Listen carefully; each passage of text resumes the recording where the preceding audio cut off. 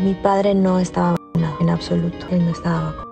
Antes de que finalizara el mes de enero, se dio a conocer que tristemente el cantante Diego Verdaguer había partido de este mundo. Después de que se dio a conocer esta información, se empezó a hacer tendencia en redes sociales las declaraciones de que Diego Verdaguer no se había aplicado el medicamento en contra de la enfermedad mundial. Padre es hermoso, creativo, bueno. Nadie es perfecto, pero es muy bueno. La primogénita del afamado intérprete concedió una entrevista vía telefónica al programa Sale el Sol. En esta, Jimena habla acerca de la polémica, que gira en torno al enorme contratiempo de salud que hizo que su padre partiera de este mundo a la edad de 70 años. Fue un padre excelente para mí, sé que lo voy a volver a encontrar. Queda toda su creatividad. Jimena fue contundente al declarar que Diego Verdaguer efectivamente no contaba con un esquema de aplicación del medicamento en contra de la enfermedad, que ha estado presente en cada rincón del planeta. Y lo vivamos, lo continuemos viviendo con mucho amor y alegría. La gigantesca polémica surgió después de que en Internet se recuperaran algunas opiniones públicas de la esposa de Diego Verdaguer, la también cantante Amanda Miguel,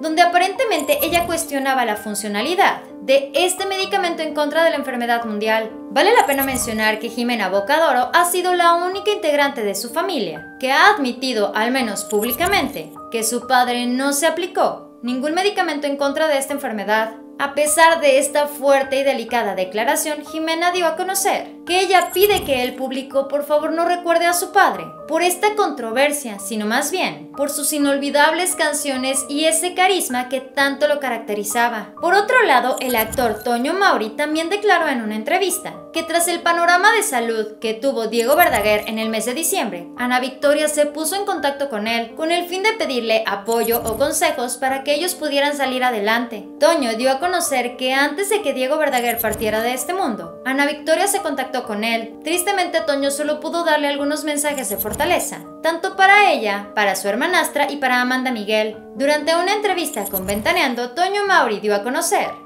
lo que le dije a Ana Victoria y siempre quise hacer fue que tuviera esperanza, que no fueran a perder la esperanza, que tuvieran mucha fuerza, que pensaran mucho en Dios. Le mandé unas oraciones que hizo mi familia cuando yo estaba así, también le dije que buscaran la presencia de un sacerdote. El actor de 57 años de edad dio a conocer que según la información que obtuvo por parte de Ana Victoria, todo parecía que con Diego iba a mejorar. Tristemente las cosas no sucedieron así. El resultado fue muy diferente al que habían pronosticado. Sin esperárselo, Diego Verdaguer partió de este mundo tras fuertes complicaciones de esta enfermedad mundial. Este fue el Muro de la Fama. Dale like a este video, suscríbete y síguenos en Facebook. Pero antes de que te vayas, chécate este video. Estoy segura que te va a encantar. Espero que tengas un excelente día. Nos vemos muy pronto. Bye.